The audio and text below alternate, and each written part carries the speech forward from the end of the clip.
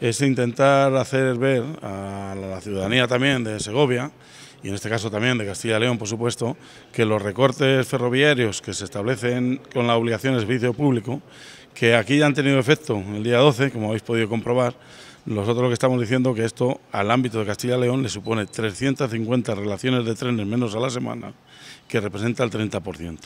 Que aunque el Gobierno y la Junta de Castilla y León dicen que, que, no es mucho, nosotros estamos diciendo que somos la segunda comunidad autónoma de todo el Estado español más afectada por un recorte de trenes. Y que si no ponemos soluciones, el 30 de junio nos vamos a encontrar con esa situación en nuestro ámbito. Hemos encontrado quejas de ese sentido y nosotros de aquí estamos haciendo un llamamiento ya al Estado o al ámbito de las comunidades autónomas para que antes del 30 de junio, que es cuando hay que declarar obligación de servicio público, alguien tome la decisión de lo que le han hecho es una burrada y un atentado entre usuarios del ferrocarril con una antigüedad importante. Nos podemos encontrar que una comunidad autónoma como la nuestra, que porque el gobierno de la nación decide retirarle 350 relaciones ferroviarias para ahorrar X, acabe poniendo también como comunidad autónoma o bien servicio a la demanda por autobús, concesiones a mayores y hombre, con este dibujo estamos volviendo una época al coche de línea que pasaba por todos los pueblos con cuatro horas. Que se está pretendiendo, y desde un partido como es el Partido Popular, seguir convirtiendo la provincia de Segovia en el comedor de Madrid. Y eso no es así. Nosotros desde Segovia necesitamos servicio, servicio para los segovianos. ¿Eh? servicio para los segovianos.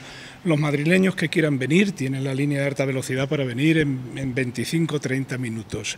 Pero lo que sí que hemos denunciado desde Comisiones Obreras desde el primer momento es la manipulación de los datos. ¿Qué es lo que ha hecho la Renfe? Bueno, pues coger un cómputo Segovia-Cercedilla meter trenes de 1.200, 1.200 plazas y decir que solamente hay un 4% de ocupación.